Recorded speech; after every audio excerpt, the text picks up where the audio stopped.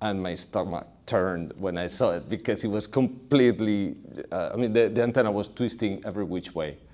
And I was thinking, man, we just broke it. But no, actually, it locked into place immediately. JUICE, il Jupiter Icy Moon Explorer, è una delle missioni più recenti dell'Agenzia Spaziale Europea. Raggiungerà il suo obiettivo, il pianeta Giove e i suoi satelliti ghiacciati Europa, Ganimede e Callisto, nel luglio 2031, dopo otto anni di viaggio e diversi sorvoli programmati della Terra e di altri pianeti, dei quali sfrutterà il campo gravitazionale come una fionda per accelerare e cambiare direzione. Manovre come quella compiuta con successo alla fine del mese scorso, quando JUICE si è esibito in un doppio flyby gravitazionale senza precedenti della Luna il 19 agosto e della Terra 24 ore dopo, per guadagnare la spinta necessaria e spingersi verso Venere. Recente, innovativa, promettente, tutti aggettivi che si addicono alla missione dell'ESA diretta verso Giove, ma che possiamo attribuirle solo perché poco dopo il lancio il team di JUICE è riuscito a superare un problema che rischiava di comprometterne la vita scientifica. Cosa sia successo ce lo racconta Ignacio Tanco, ingegnere dell'ESA e Space Operations Manager di JUICE, che ho incontrato durante il mio viaggio al centro di controllo dell'ESA a Darmstadt lo scorso inverno. Io sono Valentina Guglielmo e questo è un podcast di Media Inaf che parla di spazio, atterraggi falliti, innovazioni disperate e soluzioni geniali. Si chiama Houston.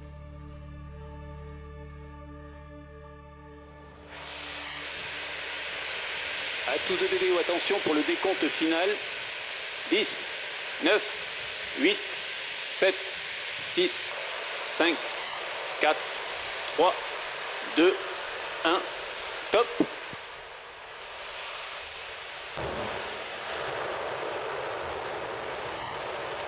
Allumage Vulcain.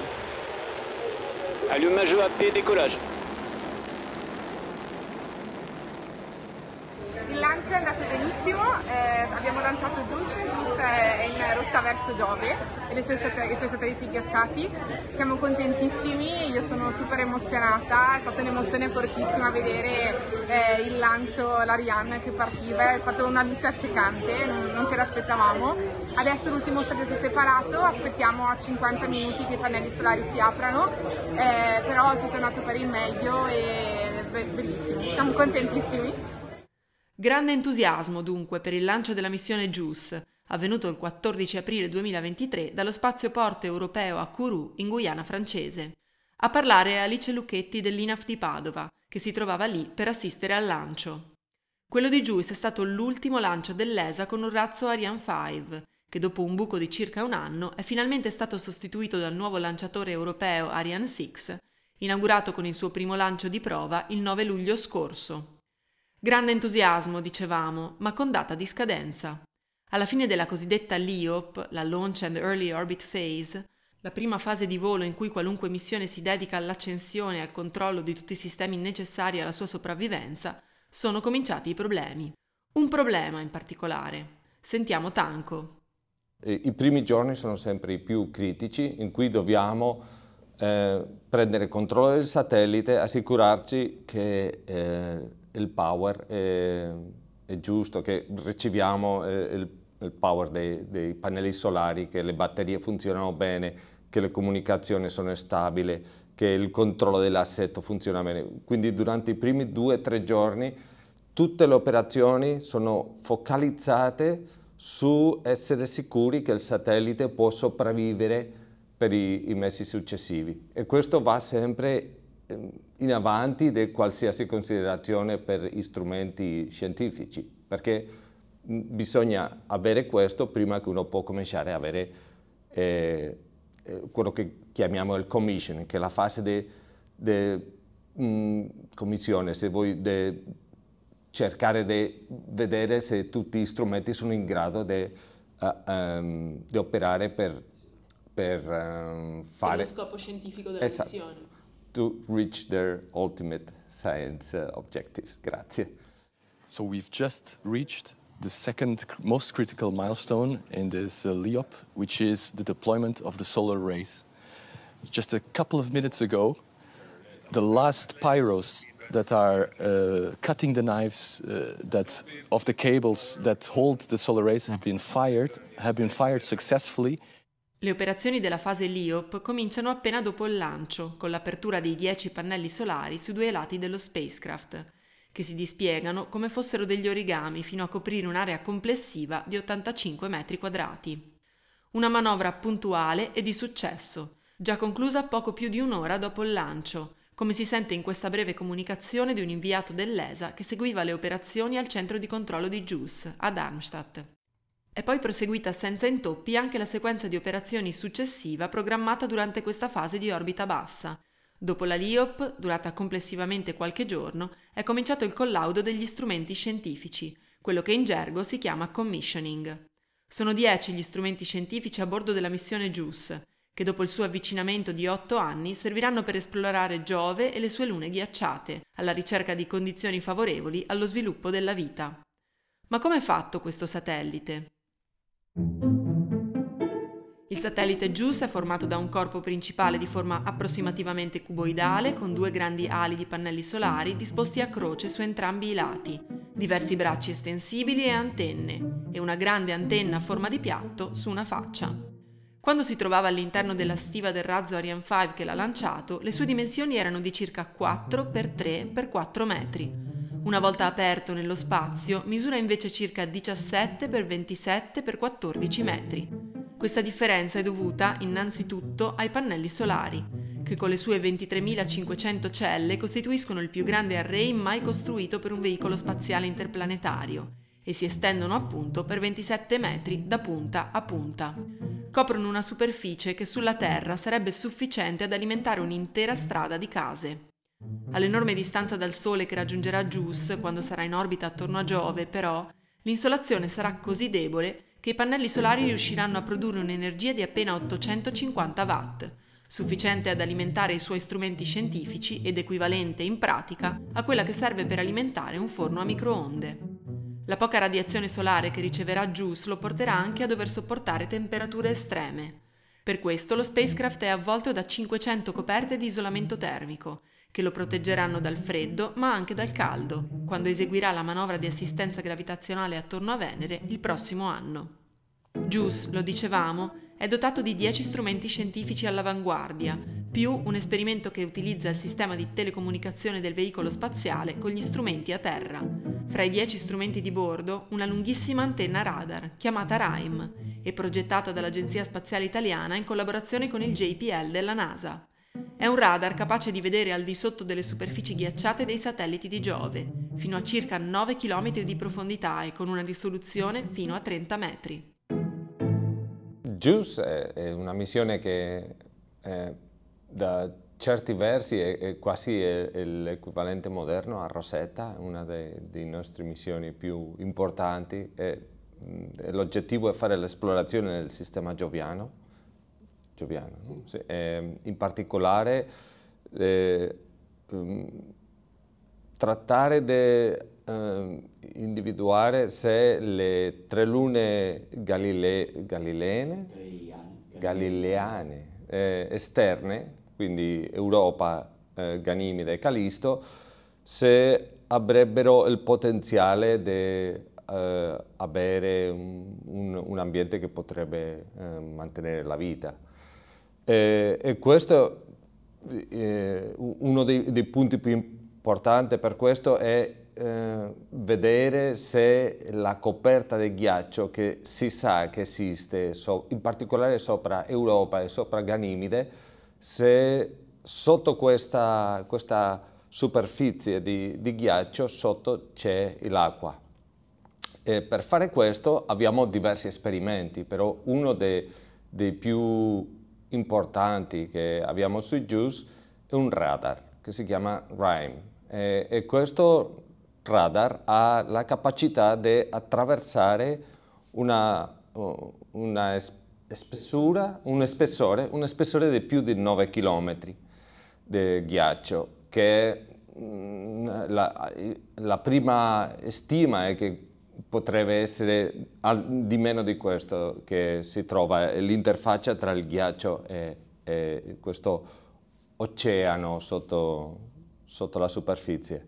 E niente, eh, questa antenna RIME quindi era critica per la missione, per ottenere i risultati scientifici.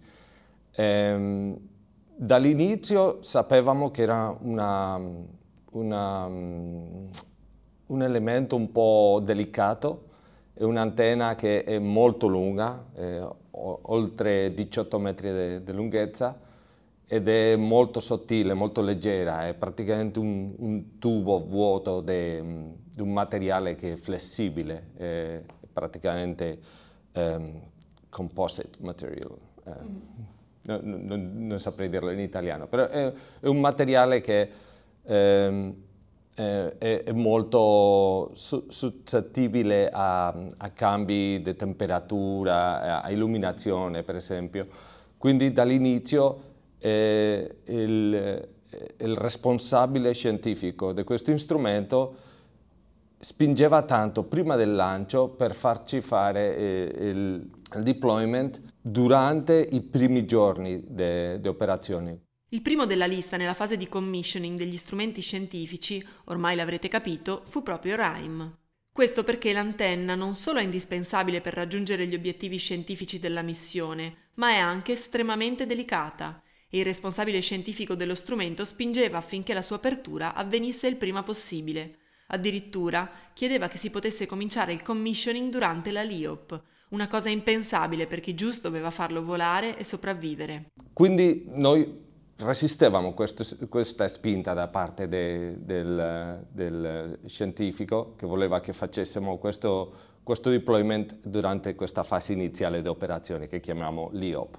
Noi diciamo no perché non è collegata alla sopravvivenza del satellite, quindi noi ci infochiamo su questo e daremo priorità soltanto al deployment del RIME una volta che abbiamo finito con l'IOP.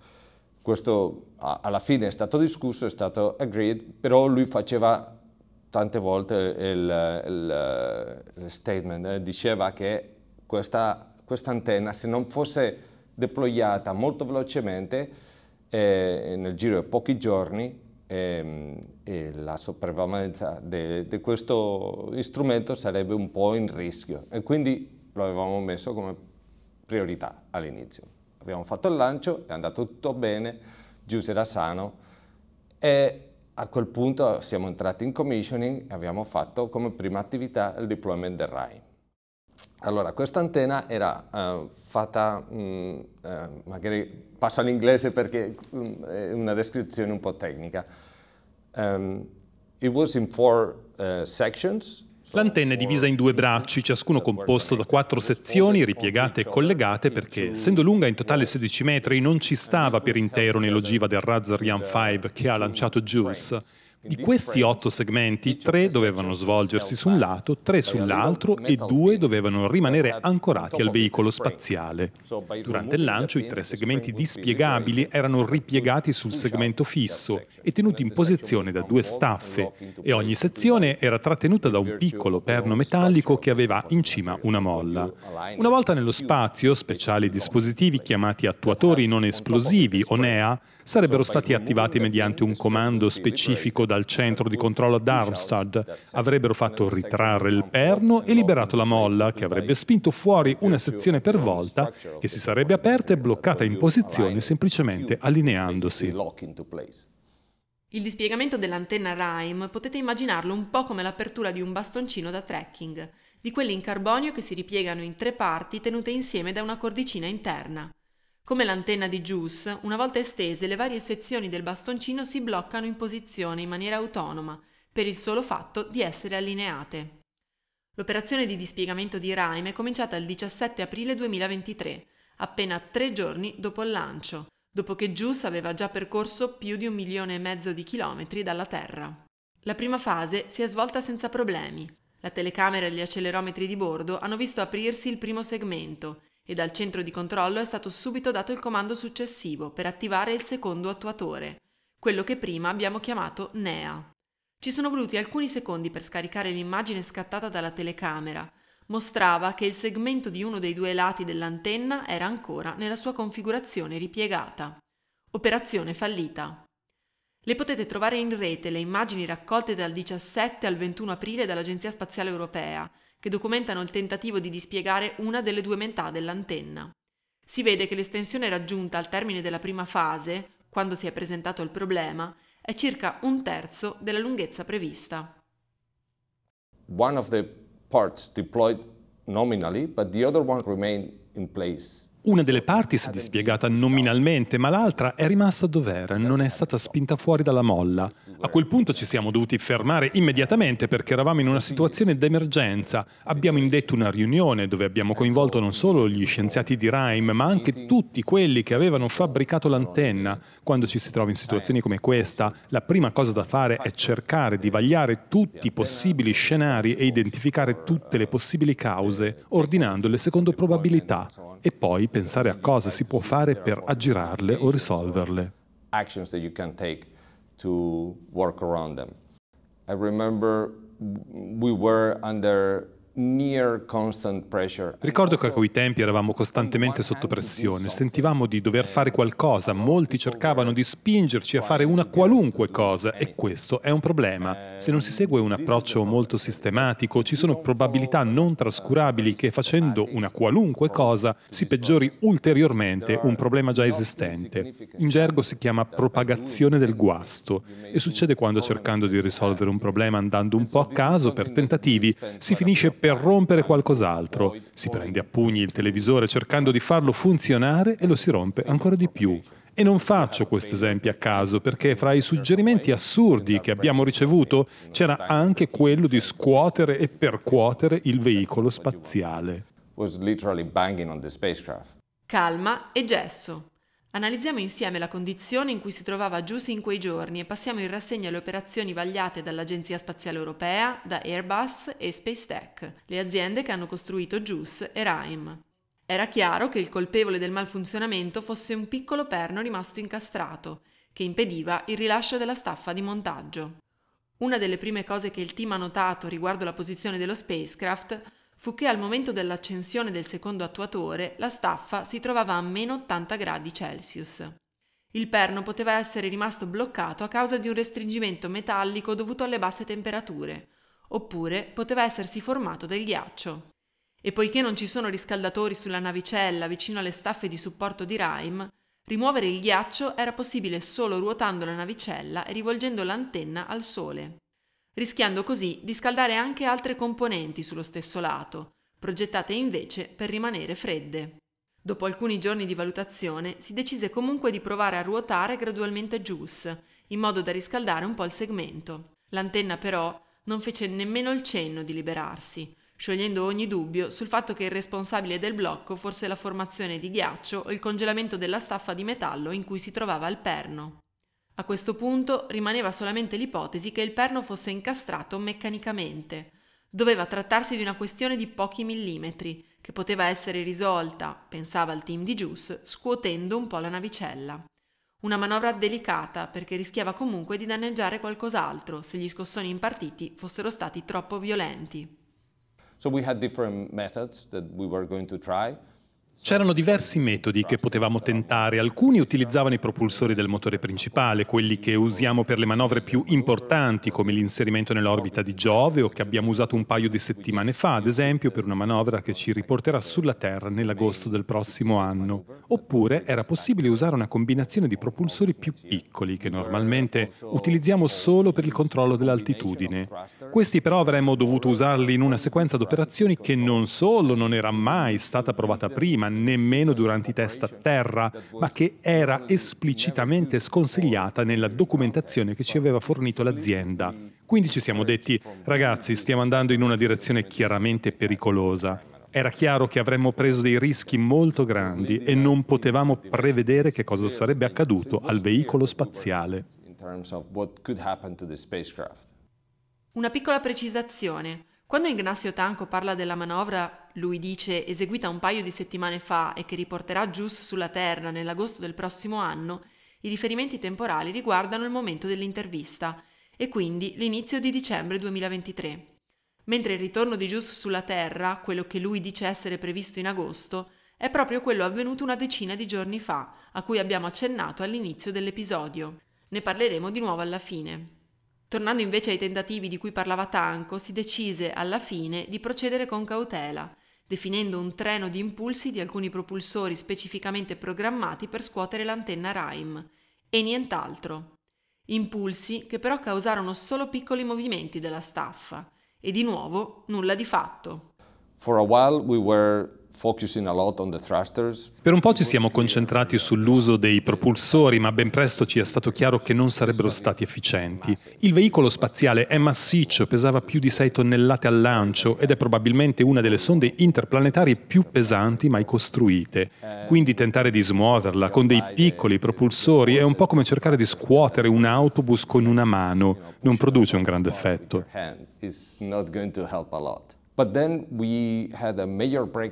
Poi però c'è stata una svolta importante quando il produttore del meccanismo di dispiegamento di RIME è riuscito a riprodurre in laboratorio la situazione in cui il perno non si estraeva. L'azienda produttrice dell'antenna RIME, la tedesca Space Tech, riesumando un modello di antenna che era stato usato per i test a terra, riuscì a riprodurre in laboratorio l'anomalia del dispiegamento e a eseguire alcune prove per liberare il perno.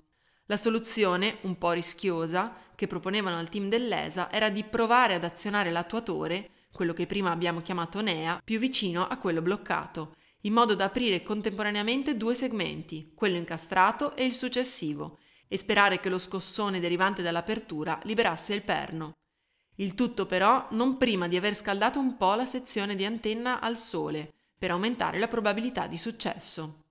Sono state quindi organizzate otto rotazioni nell'arco di due settimane per illuminare gradualmente la staffa, esponendo ogni volta la superficie per un tempo maggiore, in modo da comprendere i limiti di questa operazione e fermarsi al primo cenno di surriscaldamento. Alla fine, il 12 maggio 2023, la staffa è stata esposta alla luce del sole per il tempo massimo consentito, cioè 73 minuti, ed è stata poi riportata nella posizione iniziale in totale ombra per evitare qualunque gradiente termico prima di cominciare il tentativo finale di liberare Rime. We were very careful about this because also the initial analysis was that this kind of deployment which is, uh, would be uncontrolled. Siamo stati molto prudenti prima di prendere questa decisione perché i test in laboratorio mostravano che questo tipo di dispiegamento era incontrollato dal momento che si sarebbero aperte diverse sezioni contemporaneamente e in alcune simulazioni questo portava all'aggrovigliamento dell'antenna e al rischio concreto di romperla. Siamo stati molto attenti a valutare se ne valesse valesse la pena, anche se sapevamo che l'alternativa era che l'antenna rimanesse bloccata e non funzionasse affatto. Alla fine abbiamo ottenuto il via libera per provarci. La prima cosa da fare era aumentare la temperatura della staffa posteriore e già in questo passaggio abbiamo violato alcuni dei vincoli operativi sul veicolo spaziale, perché abbiamo dovuto esporre la staffa al sole ad angoli di illuminazione proibiti, perché avrebbero potuto surriscaldare alcune parti sensibili di JUICE. Ma gli ingegneri termici termici hanno monitorato in diretta le temperature e noi abbiamo agito in modo progressivo, la prima volta illuminando per un certo numero di minuti, poi il giorno successivo, dopo aver controllato che le temperature fossero a posto, prolungavamo l'illuminazione di 10 minuti e così via. Abbiamo continuato fino a raggiungere i 70 minuti di esposizione al sole e i 20 gradi Celsius sulla staffa posteriore. A quel punto abbiamo azionato immediatamente l'ultimo attuatore per liberare il perno rimasto sull'altra sezione dell'antenna e ha funzionato. C'è un video molto bello della sequenza di dispiegamento di Rime che si può trovare ancora online e mi si è rivoltato lo stomaco quando l'ho visto perché era completamente, voglio dire, l'antenna si stava torcendo in tutti i modi e io ho pensato, cavoli, l'abbiamo rotta ma no, in realtà si è bloccata in posizione immediatamente. Quindi sì, l'antenna ora è completamente dispiegata, è al suo posto e l'abbiamo vista in alcune immagini anche la settimana scorsa durante una manovra e sembra stia tenendo bene. Quindi ora siamo in viaggio verso Giove. La sequenza di dispiegamento delle antenne, come avrete capito, è stata visionata grazie alle immagini scattate in sequenza da JUICE stesso durante le operazioni e non solamente monitorata attraverso i dati di telemetria dello spacecraft come spesso abbiamo sentito raccontare in questo podcast. Queste camere di monitoraggio non sono una novità. Negli ultimi anni molte sonde ne sono dotate. Le ha ad esempio anche la sonda Bepi Colombo, lanciata nel 2018 e diretta verso Mercurio. Si tratta di telecamere posizionate in modo da osservare unicamente il corpo del satellite e in particolare le sue antenne e appendici. Nel caso di JUICE le telecamere sono due e l'aspetto più innovativo è il fatto che le immagini raccolte vengono processate e inviate sulla Terra molto velocemente, consentendo così di seguire le operazioni quasi in diretta e di vedere come sono andate entro pochi minuti dall'esecuzione dei comandi. Il 19 e 20 agosto scorsi la sonda JUICE è tornata a far visita alla Terra per eseguire due manovre senza precedenti. Il primo flyby del sistema Luna-Terra, chiamato LEGA, Lunar Earth Gravity Assist, e il primo flyby gravitazionale doppio. Una manovra che le ha permesso di cambiare velocità e direzione, preparandola al suo prossimo sorvolo ravvicinato di Venere nell'agosto del 2025, ma che avrebbe potuto, se qualcosa non fosse andato bene, deviare la sonda in modo irreversibile. Quando una navicella come JUICE passa vicino alla Terra, oltre a mantenere il contatto con il centro di controllo missione dell'ESA, può essere osservata da telescopi e strumenti, da Terra e dallo spazio, come fosse un corpo celeste qualunque. E proprio di un telescopio in orbita attorno alla Terra parleremo nel prossimo episodio. Si chiama XMM Newton. Non è fra quelli che ha guardato JUICE, ma ha fatto la storia dell'astronomia osservando l'universo nei raggi X. Alcuni anni fa, però, è sparito per ben tre giorni, interrompendo ogni comunicazione con la Terra e rischiando di essere perso per sempre. Io sono Valentina Guglielmo e vi aspetto nel prossimo episodio di Houston, un podcast di Media Inaf che parla di spazio, atterraggi falliti, innovazioni disperate e soluzioni geniali.